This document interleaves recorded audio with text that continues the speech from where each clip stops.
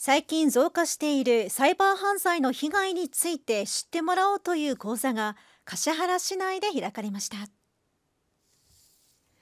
2月から始まるサイバーセキュリティ月間を前に行われたこの講座はサイバー犯罪の被害防止について学んでもらおうと奈良県警が毎年開いているものです。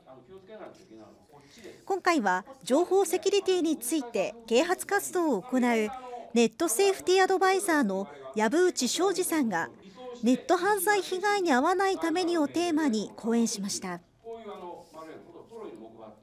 そして連絡先が書かれていなかったり不自然な日本語が使われているなど偽サイトを見分けるポイントを紹介したほかセキュリティソフトの大切さを訴えました。またさまざまなサイトを示したカードを使って怪しいサイトを見極める体験学習も行われました。参加者は危険を見分ける目を養いながら熱心に取り組んでいました。